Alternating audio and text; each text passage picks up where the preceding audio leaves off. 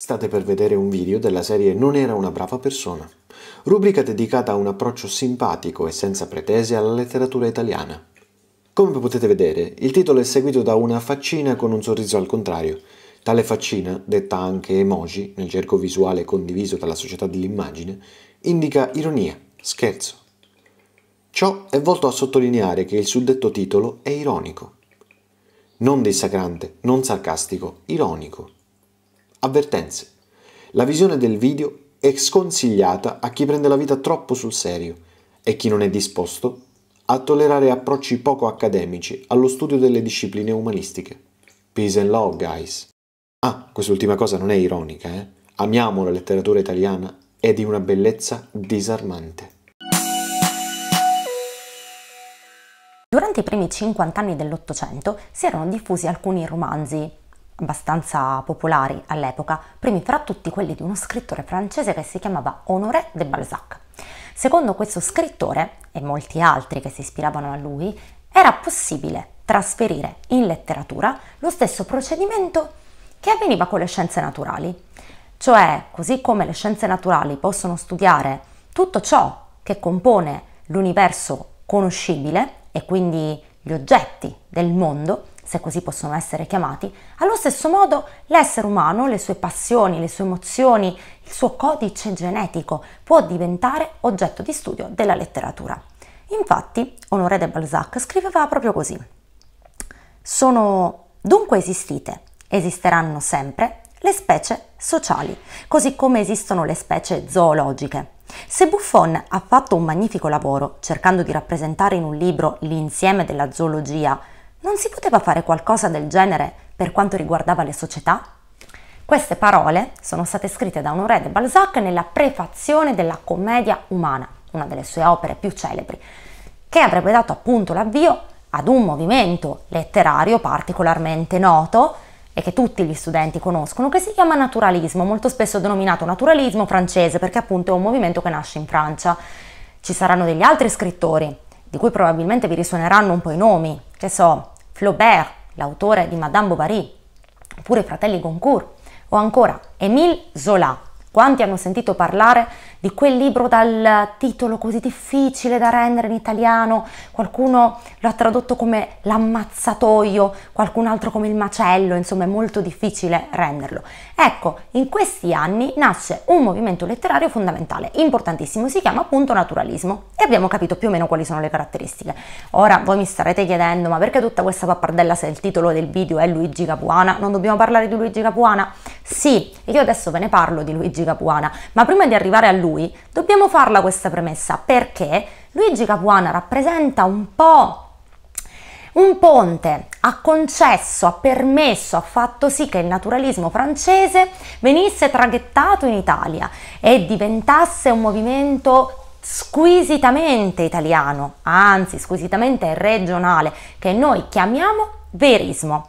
Ha delle caratteristiche che in parte condivide col naturalismo, ma in parte sono diverse, ce le ripassiamo così, veloce veloce. Il naturalismo voleva studiare l'ereditarietà dei caratteri, voleva far sì che fosse possibile attraverso la letteratura spiegare come determinati elementi del codice genetico potessero tramandarsi di generazione in generazione. E questo ha degli aspetti sicuramente interessanti, cioè per farvi un esempio, no? Io la mattina faccio una fatica enorme ad alzarmi, cioè io amo il mio lavoro, ma per me entrare alle 8 al lavoro è mm, una specie di incubo, continuerei tranquillamente a restare a letto, continuerei a dormire fino alle 10 e poi potrebbe iniziare benissimo la mia giornata protrendosi fino alle 2 alle 3 del mattino. Ecco, probabilmente questo aspetto non è dovuto alla mia pigrizia del carattere, ma ad una letargia congenita, al fatto che probabilmente io abbia avuto una nonna con queste caratteristiche, che a sua volta avrà avuto una sua nonna e poi una trisavola e così dicendo, e probabilmente c'è qualche antenato della mia famiglia che nel momento in cui Giuseppe Garibaldi sbarcava a Marsala ha continuato beatamente a ronfare nel proprio letto ed era felice. E così che va. Questo aspetto del naturalismo sicuramente ci sembra interessante e sembrava interessante anche ai veristi, che sicuramente lo acquisiscono, però poi rendono una connotazione un po' più locale. Infatti una delle caratteristiche principali del verismo in Italia è proprio la regionalità. Non è un caso che la maggior parte degli esponenti di questo movimento siano meridionali, per esempio Luigi Capuana, che è anche il maggiore teorico, e poi Giovanni Verga, Federico De Roberto, però ci sono anche degli altri casi, eh? perché per esempio Matilde Serao era operativa principalmente in Campania, oppure Renato Fucini, ecco, in Toscana. Però nonostante eh, i nomi di questi esponenti appartengano a realtà regionali diverse, comunque la connotazione di questo movimento rimane strettamente legata ad un contesto che è molto molto locale. Non ci sono grandi città, non ci sono grandi eventi, ma piccole comunità e contesti prettamente rurali. C'è poi una differenza sostanziale tra il verismo e il naturalismo, cioè i naturalisti sono ottimisti in generale eh, sono delle persone che almeno a livello teorico, poi sì, sì, sì, lo sappiamo, si diramano tante differenze, non possiamo fare tutte le fascio, io sono la prima a sostenere questa cosa, però in generale comunque dovete ricordare che il naturalismo è figlio del positivismo e il positivismo che cos'è? È un movimento filosofico che ripone una grandissima fiducia nella scienza e nel progresso, cosa che i veristi invece non condividono per niente, perché avete presente Rosso Malpelo, I Malavoglia, Mastro Don Gesualdo, lo so sto divagando perché sto citando Verga e non Capuana, però se avete studiato queste cose vi ricordate immagini gioiose, felici, contente, allegre, che trasmettono gioia di vivere? No, no, succedono delle disgrazie, succedono continuamente delle disgrazie perché l'idea generale trasmessa dai veristi è proprio quella del pessimismo, un pessimismo che permea praticamente la realtà quotidiana e siccome i veristi, così come i naturalisti, non devono fare altro che raccontare la realtà così com'è, senza orpelli, senza aggiungere alcun tipo di decoro, ma come se fosse una vera e propria istantanea, una fotografia della realtà, allora quello devono mostrare e la realtà non pare per niente bella. Ma a questo punto dobbiamo eh, fare un, um, una piccola precisazione, vi devo fare una piccola precisazione a cui ho già accennato prima, cioè il fatto che queste sono comunque delle caratteristiche molto molto generali, che le etichette tante volte sono comode, sono comode perché permettono di inquadrare un determinato tema, permettono di dare una cornice, di capire di che cosa stiamo parlando. Le, le etichette forniscono dei parametri, dei punti di riferimento. Se noi andiamo a comprare una bottiglia di latte al supermercato, leggiamo l'etichetta, sappiamo tante cose, sappiamo le componenti nutrizionali, sappiamo dove quella bottiglia di latte è stata prodotta, sappiamo tante cose e questo in certo senso ci dà chiarezza, ci dà sicurezza, ci dice ecco, io lo so che cosa sto comprando, questa etichetta mi tutela. Però dovete sapere che le etichette vanno bene per le cose. Con gli esseri umani è più complicato. Ci sono delle persone che ci stanno bene dentro l'etichetta. Perché? Perché in questo modo si sentono rassicurate sanno chi sono, quali sono i propri confini, ci si adattano, aderiscono perfettamente a queste pareti del confine e sono felici. Io sinceramente questa cosa l'ho sempre considerata estremamente castrante, cioè l'idea di avere un'etichetta che mi identifica, che mi dice tu sei questo, mi fa mancare l'aria. E secondo me è così per tante persone, anche per tante persone che stanno guardando questo video, che un'etichetta addosso non la vogliono appiccicata.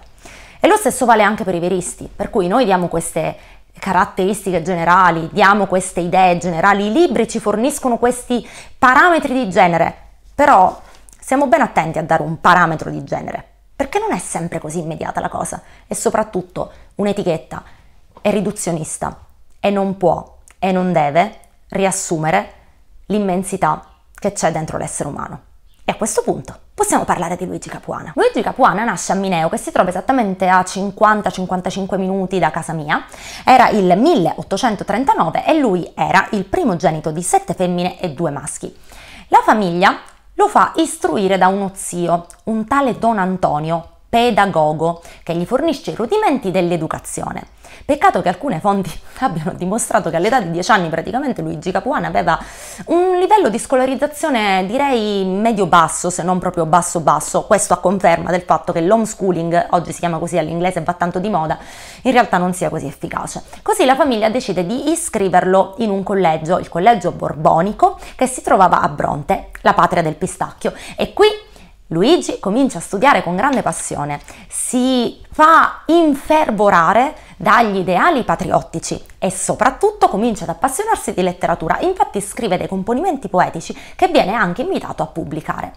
Dopo qualche tempo ritorna nuovamente a Mineo e a questo punto eh, ritorna a casa perché, mh, mm, perché, è affetto da una condizione di salute non particolarmente gloriosa, era piuttosto cagionevole.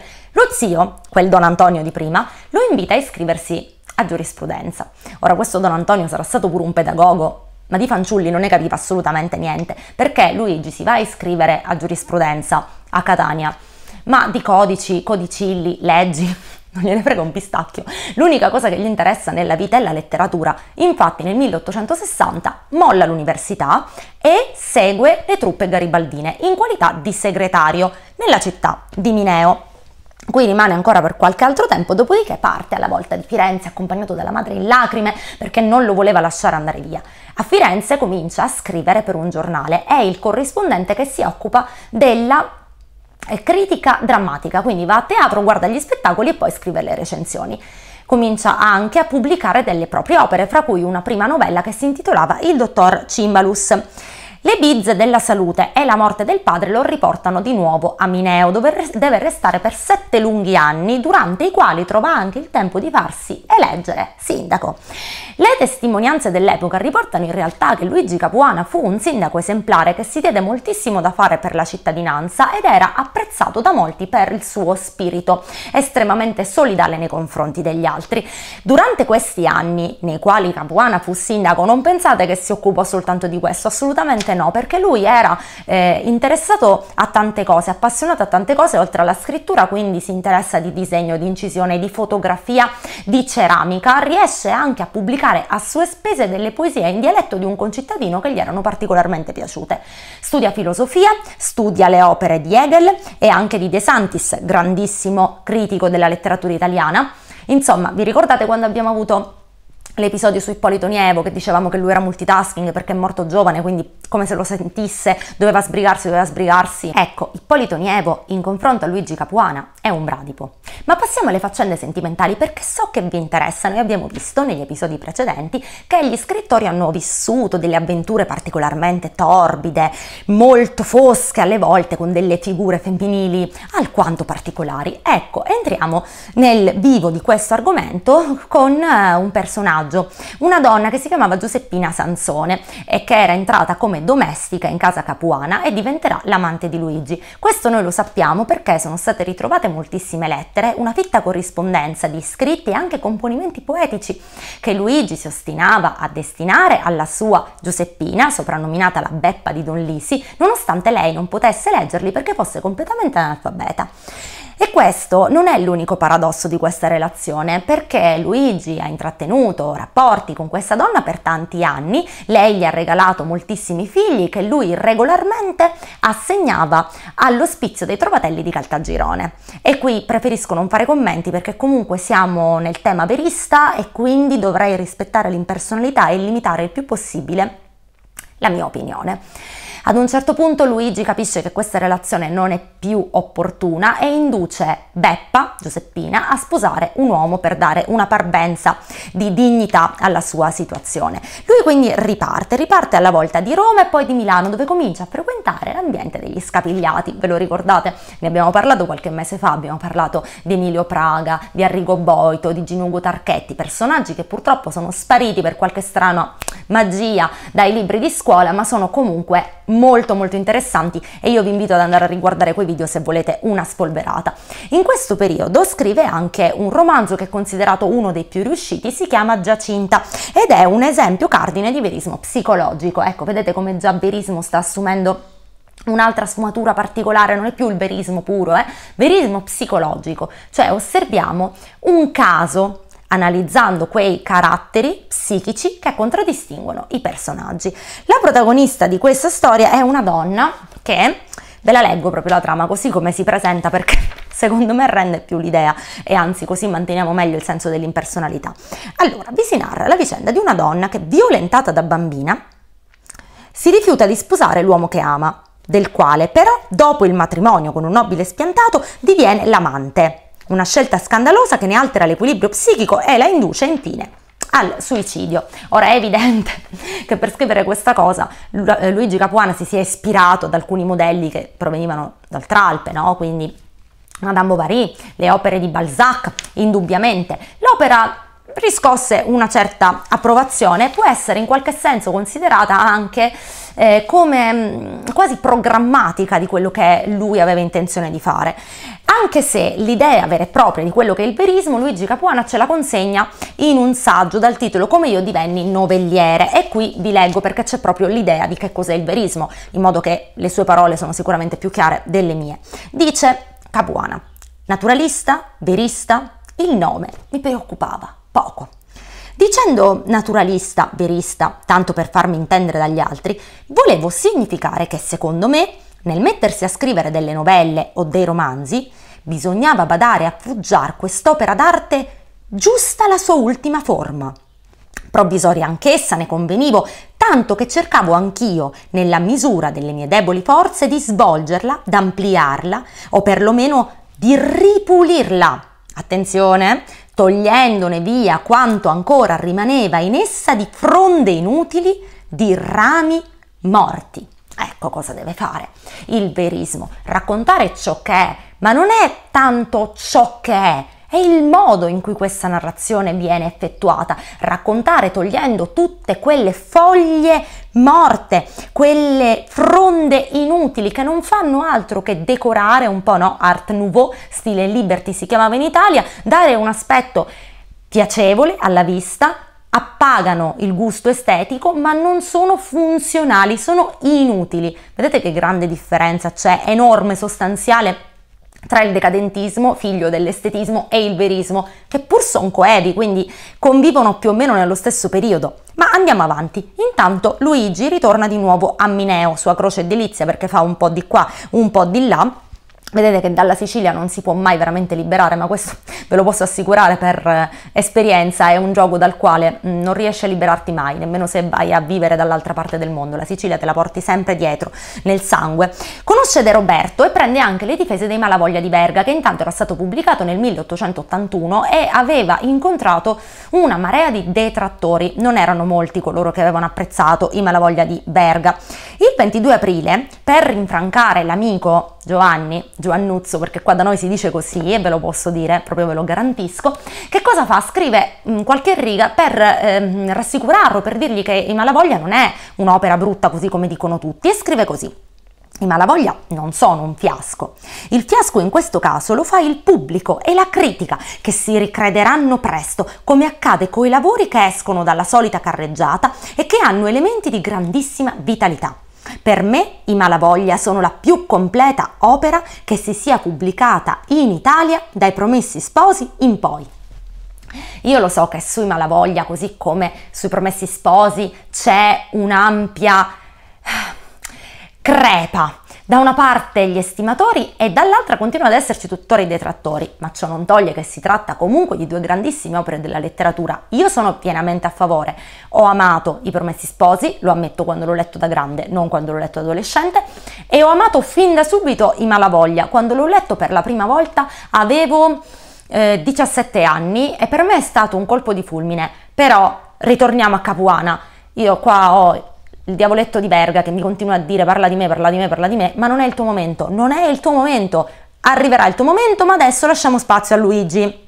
In questi anni Luigi che cosa sta facendo? Sta iniziando a raccogliere una copiosa eh, produzione di letteratura folcloristica, fiabe popolari.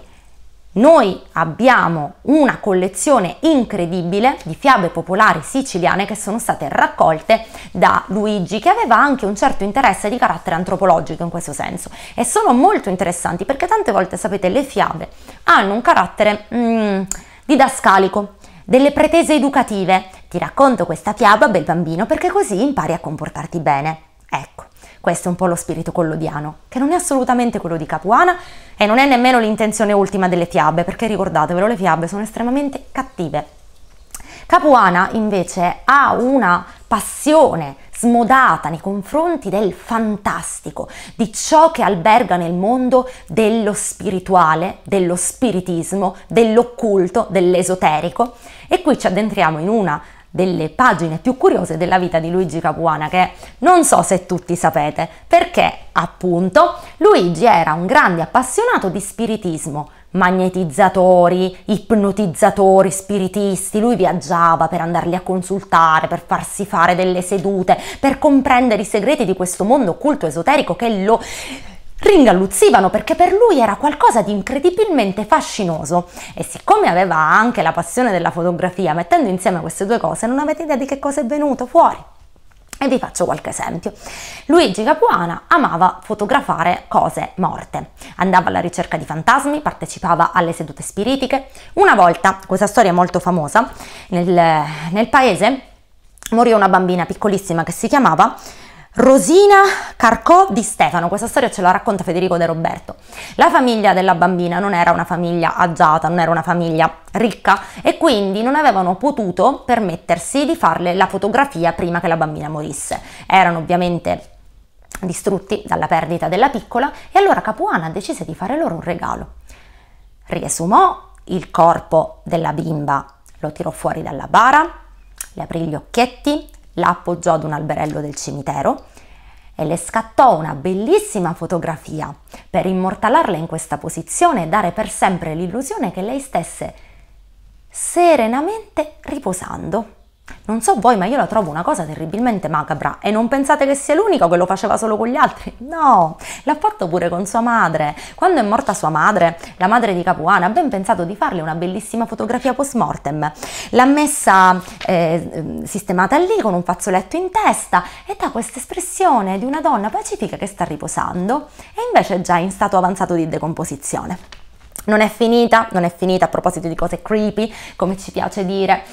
Aveva questa mania anche dell'ipnotizzare gli altri, che mh, mm, è una, una, pratica sicuramente con delle sue fondamenta, io non ho alcun tipo di dubbio, anzi l'ho anche provata su me stessa e l'ho trovata estremamente interessante, però forse lui non aveva del tutto capito come fare. Fatto sta che lui sottopone una ragazza giovanissima, una diciottenne fiorentina, a questa ipnosi. Evidentemente però nel processo qualcosa va male, perché questa ragazza comincia a correre come una pazza per l'appartamento, sostenendo di essere stata posseduta dallo spirito di Ugo Foscolo. Che poi dico io, ma perché Ugo Foscolo? Perché proprio Ugo Foscolo? Non poteva essere qualcun altro? No, lei viene impossessata dallo spirito di Ugo Foscolo. Nel 1887, sempre per restare in tema di cose strane, spedisce a Gabriele D'Annunzio, con il quale era diventato conoscente nel frattempo, una sua foto nella quale si finge morto eh, seduto in poltrona, gli occhi spalancati, all'indietro, le mani contorte che si stringono l'una con l'altra. Io penso che Gabriele D'Annunzio abbia fatto un sorrisetto e abbia detto guarda, io che sono il grande plagiatore sono stato plagiato, perché ve lo ricordate che il Rapagnetta aveva raccontato quella storia che lui si era finto morto, l'avevano detto sui giornali, ma in realtà lui non era morto? Ecco, se vi interessano altre curiosità su Gabriele le trovate nel video dedicato a lui, che vi lascio qua sopra. Nel 1901, dopo quasi un ventennio di gestazione, viene finalmente pubblicato quello che i critici considerano il capolavoro di Luigi Capuana, un libro che si intitola Il Marchese di Roccaverdina. Questa storia ha un che di autobiografico, ma anche degli elementi legati a questa tradizione del superstizioso e del rancore che alberga nella vita primitiva dei campi. Il protagonista è appunto il marchese di Roccaverdina, tale Antonio Schivardi, che per diverso tempo ha intrattenuto una relazione clandestina con una donna. Cosa ci ricorda questa storia? Un po' la domestica, vi ricordate la beppa di Don Lisi? Bene, ancora a maggior ragione ce la ricorda perché ad un certo punto Antonio Schivardi decide di fare sposare questa donna ad un fattore per poter avere insomma una copertura a questa sua relazione che non era assolutamente tollerata all'epoca. Lui era un marchese, lei era una donna del popolo. Ma questo matrimonio deve avvenire a delle condizioni molto particolari, nel senso che si fa promettere sia dallo sposo che dalla sposa che tutti e due non consumeranno il matrimonio.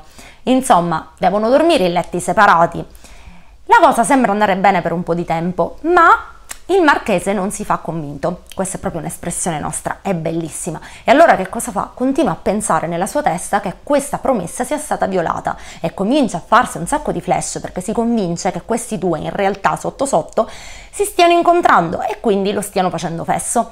Al che non riesce più a resistere, l'ossessione lo sta divorando, va a uccidere il fattore.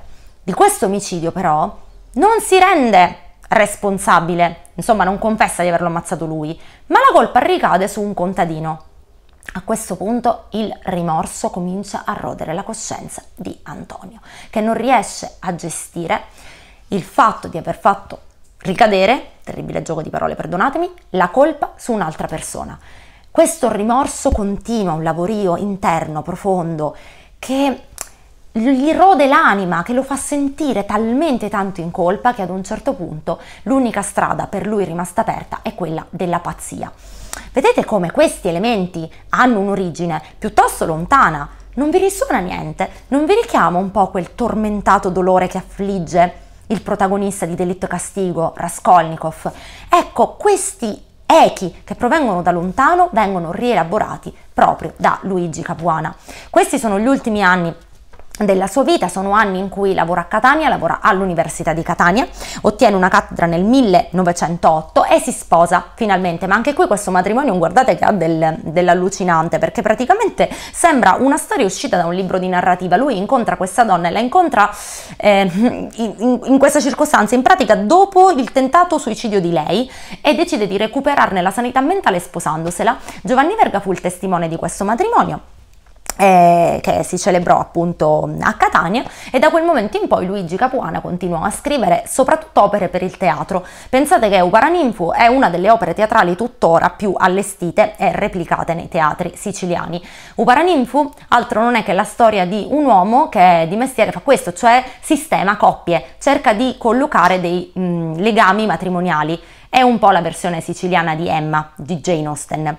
Luigi Capuana viene conosciuto anche al di fuori dell'Italia, lo conoscono in Europa, viene apprezzato da, da Annunzio, da Verga, appunto con cui era amico, da, da Pirandello, da De Roberto, da Croce.